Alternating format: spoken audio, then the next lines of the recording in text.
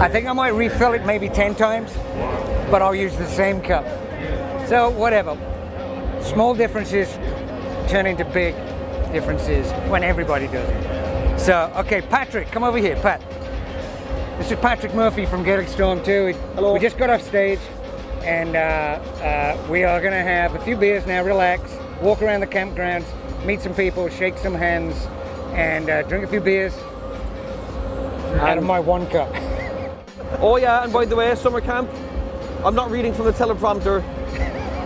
Make a difference.